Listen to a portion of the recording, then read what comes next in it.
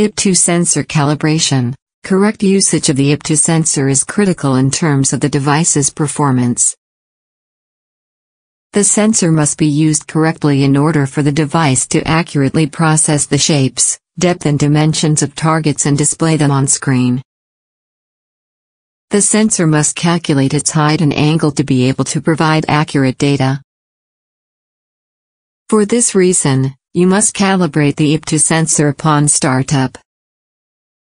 To calibrate the sensor, place the search coil on a flat surface, adjust the search coil angle so that it is parallel with the ground and lean it against a fixed object such as a tree, rock or a wall.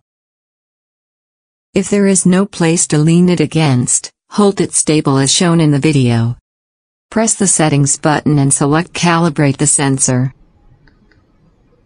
The message please place the coil on a flat surface as shown in the figure and press OK will be displayed on screen. Press the OK button. You will see the message calibrating the sensor. Please wait.